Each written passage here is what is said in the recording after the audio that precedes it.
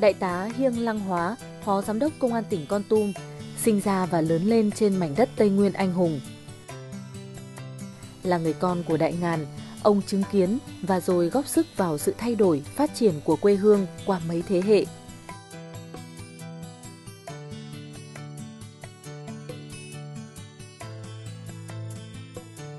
Hôm nay, ông thấy lòng mình thật nhẹ nhàng, nhưng sâu thẳm trong tâm hồn ông vẫn cháy ngọn lửa thiêng của cao nguyên. Ông nhớ ngọn lửa ấy cháy trong kháng chiến, trong ông cha mình và nay đã được truyền sang những người lính của ông, thế hệ trẻ của công an Con Tum đang tiếp tục giữ gìn sự bình yên cho cao nguyên lộng gió.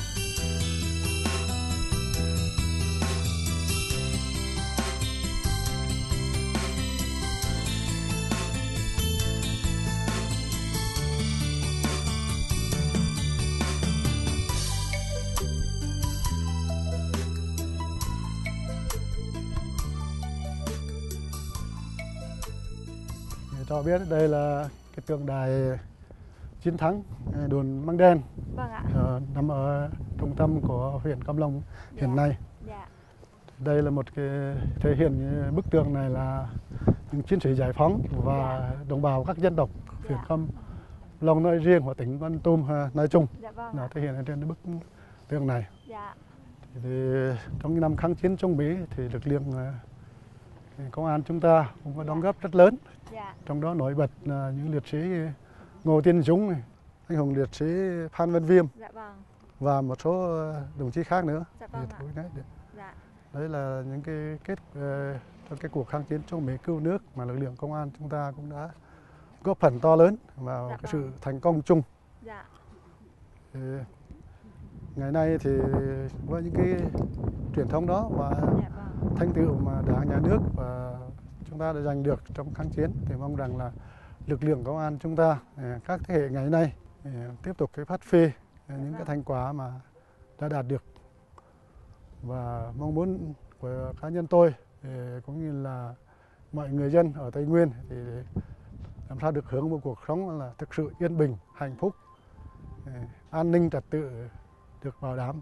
Dạ vững vâng. chắc và người dân sinh sống làm ăn là no đủ hạnh phúc Công Plong hôm nay đã thay đổi nhiều lắm. Măng Đen đã trở thành khu du lịch xinh đẹp. Sự đóng góp thầm lặng của lực lượng công an đã góp phần làm nên điều đó.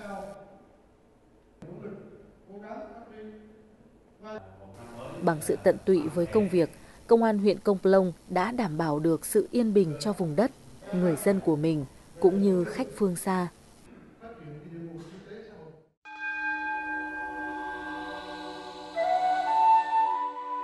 Ẩn hiện trong rừng thông là ngôi chùa Khánh Lâm.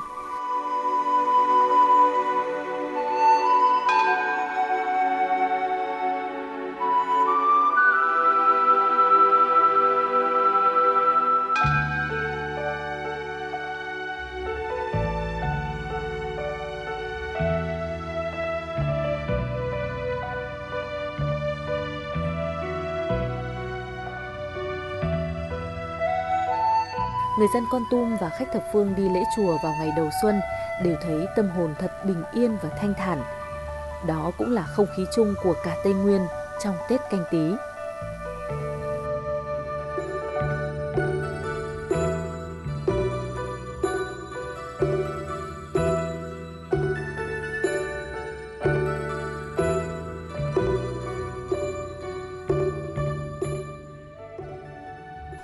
Chào thầy ạ. Đầu năm mới thì chúng tôi đi lễ chùa và năm mới xin được chúc thầy à, à, sức khỏe thật tốt, an lạc. Và qua đây thì thầy có thể chia sẻ với chúng tôi về cái không khí Tết à, nơi đây như thế nào ạ? Dạ vâng, trước tiên cũng xin ghi nhận những lời chúc tốt đẹp của của chị. Ở đây Phật giáo mà nó nó phát triển mà trên vùng sâu sang thế này thì đây cũng nói lên cái ờ, chính sách nhà nước đảng nhà nước chúng ta là tự do tín ngưỡng không có dành riêng cho Phật giáo mà nói chung cho tất cả các tôn giáo tin lành cao đài công giáo và Phật giáo. Nói chung tất cả các tôn giáo trên địa bàn tỉnh mình. Các chùa rồi các nhà thờ các nhà nguyện càng ngày càng phát triển tốt đẹp. À, nhiều đáp ứng nhu cầu tín ngưỡng bà con giáo dân cũng như Phật giáo tín đồ Phật tử mà bên cao đài cũng vậy tin lành cũng thế và công giáo cũng vậy. Đấy nói lên cái chính sách tín ngưỡng tôn giáo của của nước tỉnh nhà chúng ta. Riêng tính tâm mình là một cái tính à, đa sắc tộc đa tôn giáo. À, cho nên à, à, vừa rồi chuyến công tác à, tại ở Con Tum à, cũng được vinh à, dự được đón bác Tô Lâm bộ trưởng bộ an vào thăm làm việc tại Tum và cái thăm chùa. Và Ờ, trong khi ờ, đi tham quan lễ Phật ờ, tất cả xong rồi ngồi tâm sự uống trà bác Tô Lâm cũng có cái băn khoăn. Mà nói một câu nói là cảm cảm thấy bản thân tôi cũng thấy là mình rất là tâm đắc và là một động cơ. Nó thúc đẩy làm sao mình làm tiến hành những việc này nó sớm hơn, càng sớm càng tốt. Bác Tô Lâm nói rằng cái cái ừ, bình quân thu nhập đầu người Việt Nam mình ờ, càng ngày càng tăng. Nhất là năm 2019 ấy, tăng nhưng mà cái buồn là buồn cái cái thiên tai. Cái biến đổi khí hậu quá nhiều. Tại vì con người nhiều lúc là mình tàn phá thiên nhiên quá nhiều thì dẫn đến cái cái khí hậu nó biến đổi làm thiệt hại cho nhà nước mình cũng rất nhiều đem tới cái thiệt hại mất mát ấy, cho nhân dân cũng nhiều. Và mong muốn rằng cái bình quân của người cao thì điều đáng mừng. Tuy nhiên làm sao cái đạo đức của người mình nó quay lại như hồi xưa điều đó nó hay biết chừng nào. Mà khi mà nghe bác Tô Lâm nó có đó mình cảm thấy nó xúc động vô cùng bác là một người đại diện pháp luật nhưng mà thấy được thời buổi giờ không nên cần cái đức trị nữa. Không những cái pháp trị nhưng mà trong đó cái đức trị nữa. Cho nên rất là tâm đắc cái câu bác Tô Lâm nói.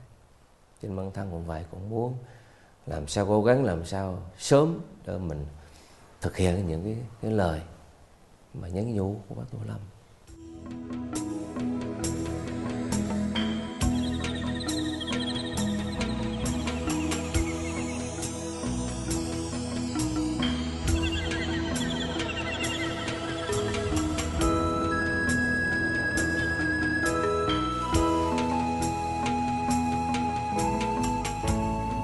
gỗ Con Tum, niềm tự hào kiến trúc của người dân trong vùng cũng sáng bừng trong dịp Tết. Những ngày đầu năm mới, sự thiện lành của tín ngưỡng hòa quyện cùng niềm vui xuân như đã xóa sạch những nét buồn của quá khứ khi mà đồng bào còn bị sự lôi kéo của các thế lực phản động. Cũng như nhiều buôn làng trên mảnh đất cao nguyên này, đồng bào ở xã Con Hờ Rầm từng trải qua những tháng ngày đen tối. Đó là thời điểm họ bị một số đối tượng xúi dục đi theo tà đạo Hà Mòn. Ngày đó, người dân con hờ rầm từ bỏ cái nương cái dãy, chỉ tập trung cầu nguyện với ảo tưởng mơ hồ về cuộc sống giàu sang mà không cần phải lao động. Từ năm 2012 đến năm 2015, xã Đắc Tờ Re, huyện Con Rẫy là địa bàn trọng điểm phức tạp của tỉnh Con Tum về an ninh trật tự. Không chỉ có nhiều đồng bào tin theo tà đạo Hà Mòn, mà người dân nơi đây còn bị những đối tượng phun rô lưu vong lôi kéo vượt biên.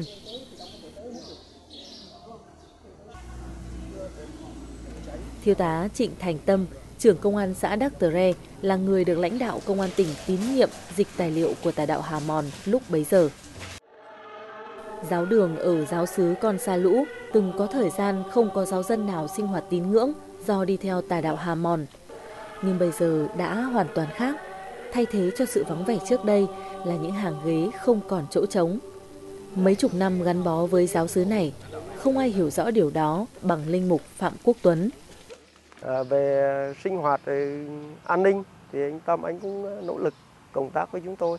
Thì chúng tôi cũng công tác với anh để rồi à, đưa cho, giúp cho bà con nhất là thanh thiếu niên à, chống những tệ nạn xã hội à, giúp về mặt an ninh tốt hơn thì tôi thấy là bà con đang đi dần đi vào trong cái nề nếp để phát triển về mặt văn hóa cũng như về mặt kinh tế.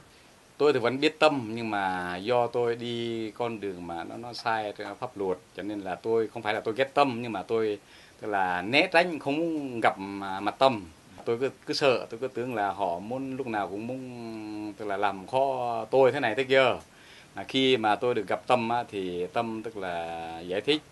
À, về pháp luật về tức là tôn giáo từ đó tôi hiểu biết. À, từ đó tôi mới thấy tâm tôi mới mến. À, từ đó thì tôi còn gặp gỡ bà con rồi vận động bà con. Mình đừng sợ nữa mình phải trở về ờ, với giáo hội với là pháp với là tức là anh em cộng đồng.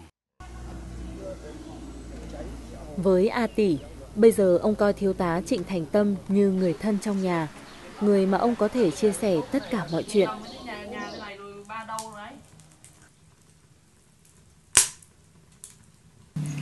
na na au ik tu ke in tu tu au yang kia. Con tâm ơi đàn ma krao có mòn tru tao nam ở vợ cái nâm cái mòn. Thành go thành plu trong ăn cái ma ma ta cheng bắn lẹ bòi cái cái cái đòn giang xa ma cái đòn kinh tế nó. À, định hướng bằng hấp ừ. học uh, nghề à, vi từ còn tâm học uh, trường à, được cộng đồng à, cao đẳng cộng đồng con tâm à, bóc Sài Gòn bóc xứ Bình Dương à, dàn các công ty. Bên này cái tầm ấy sang tru thành là và và mà tôi bằng ma tôi rong off và học nó mà tại mà số mà bên này này cái mon. Bông nguyên luôn chân. Mon tâm xả lạp làm không có xả bông nguyên luôn chân. Ngon. Ngon bạc thấm bạc. Bạc bạc bạc giá thì hôm nay là bên an ninh, là trong làng mình bây giờ yên yên tâm rồi. Tại vì thế này do cháu tâm đã tuyên truyền bà con cho mình ở đây. Mình hiểu hết ờ, cái truyền ờ, thứ nhất là truyền mòn này, thứ hai nữa là cái chuyện ờ, trong thôn mình á, là thoát nghe là như thế nào do nhờ cháu tâm là cố gắng huy động anh em phải làm, có đất đừng có bán phải làm ăn cho gia đình mình. Khỏi ờ, khổ khăn. Thì mình thấy là tâm là coi trong thôn mình là một, như một gia đình. Thì chúng tôi là cảm ơn.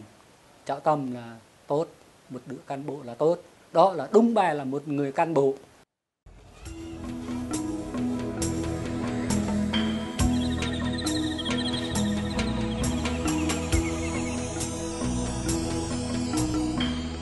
Gần dân, hiểu dân, anh dành cho bà con trong làng sự quan tâm, yêu thương bằng những việc làm bình dị, đời thường.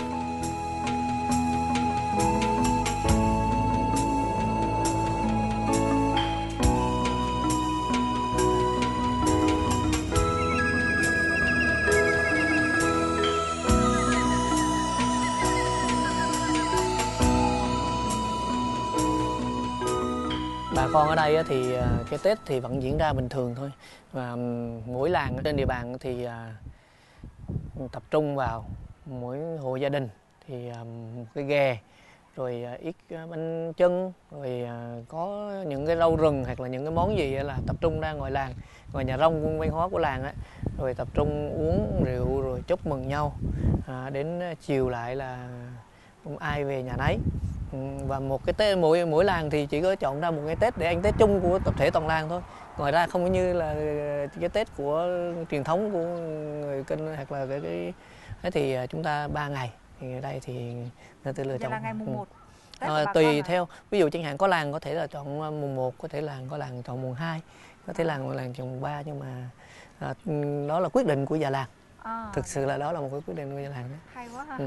một cái tết à. độc đáo riêng của à. làng ha và mỗi làng thì thuê thêm là có là ví dụ chẳng hạn như là nhạc này thêm một dàn nhạc rồi âm thanh ánh sáng như thế thì cái kinh phí mà để bỏ ra thuê đó là cái kinh phí của ví dụ mỗi làng là à, tập trung lao động sản xuất à, gọi là cái rẫy chung á cái rẫy tập thể đấy à. bán sau khi bán lấy cái rẫy lấy cái tiền đó để bỏ làm à, thuê nhạc thuê đồ Vậy là cái bà, gốc bà, bà con ừ. ăn Tết là sinh hoạt cộng đồng á à. à. bởi vì là cái nét văn hóa ở người của người đồng bào dân tộc Tây Nguyên á, là cái âm nhạc không thể thiếu à. chính vì vậy dù có khó khăn đến đâu có khổ gian khổ nhưng mà cái luôn luôn phải có âm nhạc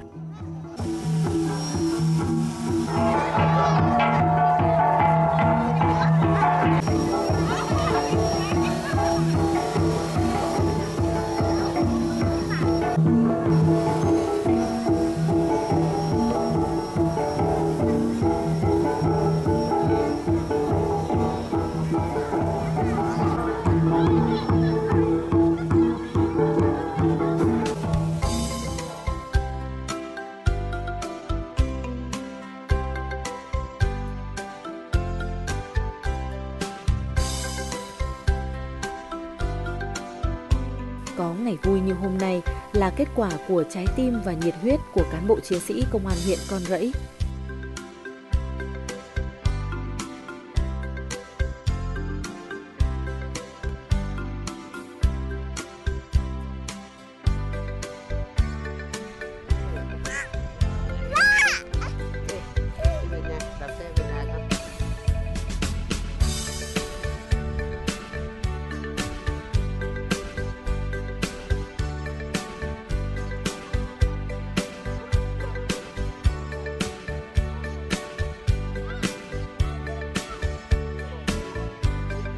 Các anh đã giành được tình cảm của bà con bằng chính sự chân tình của mình. Khoảng cách giữa cán bộ công an và nhân dân không còn tồn tại ở nơi đây, chỉ còn tình cảm của gia đình và cùng một tấm lòng hướng tới sự bình yên, phát triển cho quê hương đất nước. Chú ơi, gia đình mình ăn Tết như thế nào ạ? Cái này thì ông già nói thật thế này, riêng Tết á là chúng tôi thì bánh kẹo thì nó, mình không có, mình nghèo mà. Mình chỉ tổ chức uống rượu thôi. Là mình mời mời bằng rượu thôi. Mời nhau. Về là mùng hai là làng tổ chức. Ờ, chung chung luôn hết cả làng. Là chung một ngày đó là Dạ, cả làng đón ngày, Tết cộng dạ. đồng á. là mình mời hết anh em chỗ thôn Tam hay là thôn gì đó. Dạ. Khi nào mà thôn mà chưa uống nữa thì mình mời nhau Dạ. là lên nhà rồng là chúc nhau năm mới. Dạ. Thế rồi chỉ uống bằng rượu ghe rồi nhảy múa là cái chiên này hay là có gì nhạc thì ít lắm. Dạ. Nhạc thì chúng tôi thì không phải là mình không muốn tại vì luật là ngày Tết là mình phải Dạ. đàn chiên một để mà con nhỏ con cháu nó biết theo phong tục dân tộc mình trước là như thế nào thế nào đó. Dạ.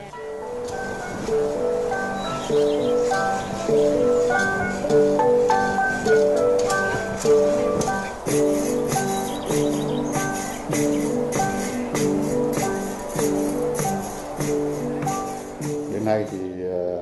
qua thời gian triển khai một năm, Đảng ủy Công an Trung ương lãnh đạo Bộ Công an, tỉnh ủy, Ủy ban nhân tỉnh đánh giá cao cái vai trò trách nhiệm của công an trong việc bố trí công an xã chính quy. Thì chúng tôi đã bố trí được ờ, 366 đồng chí ở 86 xã trên bàn toàn tỉnh ờ, với ờ, số lượng với số lượng thì Ờ, theo cái tiêu chí chúng tôi đặt ra, các ờ, xã mà có tình hình ờ, đặc biệt nghiêm trọng về an ninh quốc gia, về trật tự an toàn hội, chúng tôi bố trí 7 đồng chí. Còn những xã bình thường chỉ 5 đồng chí. Nhưng mà trước mắt thì chúng tôi bố trí từ 3 đến 5 thì sau này chúng tôi sẽ có cái hướng tăng cường thêm là từ 5 đến 7 cho quân số theo đúng tiêu chí của uh, bộ đưa ra là uh, công an cấp xã là phải đạt được 30% quân số. Một cái mà đặc biệt rõ nét nhất là qua quá trình uh, thời gian công an chính quy ở cơ sở thì quần chúng nhân dân tin tưởng hơn, uh, có tình cảm quý mến hơn, Ờ, cán bộ chiến sĩ thì ờ, sát dân hơn, gần dân hơn, Xã Morai, huyện Sa Thầy, trong kháng chiến là vùng đất anh hùng. Nhưng trong thời bình, khi cuộc sống của người dân được nâng cao phát triển, giao thoa với xã hội bên ngoài, thì tình hình an ninh trật tự lại phức tạp hơn trước. Ngày nay, với điều kiện kinh tế các hộ gia đình khá giả, phương tiện đi lại nhiều hơn và thuận tiện hơn là điều kiện cho các thế lực thù địch, đối tượng xã hội ở bên ngoài xâm nhập vào Morai, gây mất ổn định trật tự, kéo theo nhiều tệ nạn xã hội. Xã Morai là xã biên giới, xã đặc biệt khó khăn. Tình hình an ninh trật tự thì có cái đặc thù của xã vùng biên đa, dân số ở biên giới thì tha, đa số là vùng đa số là dân tộc thiểu số à, nhiều thành phần dân tộc và dân trí thì đời sống còn thấp trình độ dân trí cũng thấp nên cái việc chấp hành trước đây cái việc chấp hành pháp luật là còn hạn chế. Các loại tội phạm là, là đều xảy ra đều có. Thì ờ, đa số là về ờ, cối gây thương tích rồi các cái tội về ờ, vi phạm về quy quản lý bảo vệ rừng. Vì bà con vẫn còn tập trung nhiều cái tục tập tục mà xâm canh xâm cư ấy thì nhận biết được điều đấy thì công an xã muốn cũng muốn phòng ngừa là là đưa là chính nên là chủ yếu là ừ, nâng cao cái công tác mà nắm tình hình và xử lý cái vụ việc từ cơ sở. Không chỉ giúp bà con có cuộc sống ấm no, lực lượng công an chính quy về xã còn thường xuyên đưa chủ trương, đường lối, chính sách của Đảng và Nhà nước đến gần hơn với bà con. Nhờ đó, công tác đảm bảo an ninh trật tự cũng đạt được hiệu quả tích cực. Với phương châm đến tận ngõ, gõ cửa từng nhà, tuyên truyền đến những gia đình giáp biên phòng chống tội phạm, bài trừ tệ nạn xã hội, bảo vệ an ninh biên giới, lực lượng công an xã kết hợp cùng già làng trưởng bản tổ chức các buổi sinh hoạt cộng đồng ở nhà rông để hòa giải, giải đáp những thắc mắc hay những mâu thuẫn trong cuộc sống của người dân để hạn chế các tệ nạn xã hội, đem lại sự bình yên cho bản làng.